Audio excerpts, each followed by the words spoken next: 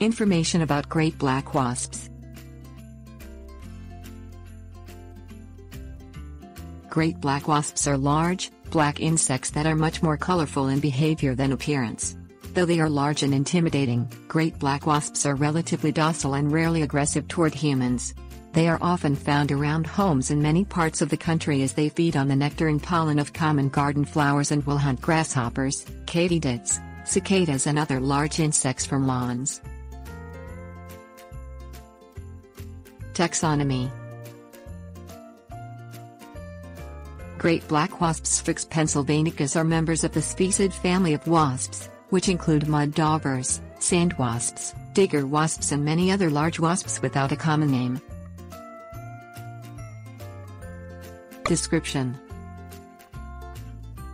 Great black wasps, also known as katydid killers, are a large flying insect. They appear solid black with a blue iridescent sheen on their wings. Great black wasps can grow to be 1 inch in length males are slightly smaller than females. Range and habitat Great black wasps are found throughout eastern and central North America. They prefer open meadows and fields with flowering plants, where insects such as grasshoppers, katydid and other large insects are also found.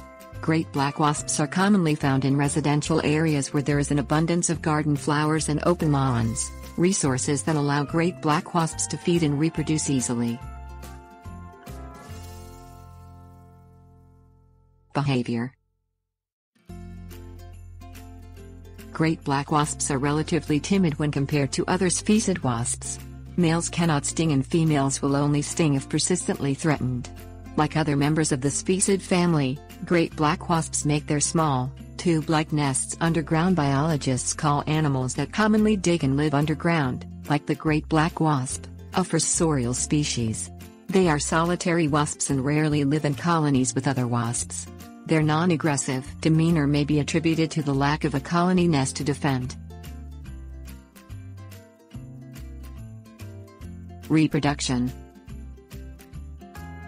Great black wasps are famous for their reproductive behavior. Great black wasps will hunt and kill grasshoppers, katydids or cicadas, then carry the dead insect back to their nest where they push the carcass into their nest. They will capture two to three insects and then lay their eggs in the carcasses, which serve as food for the newly developing wasps.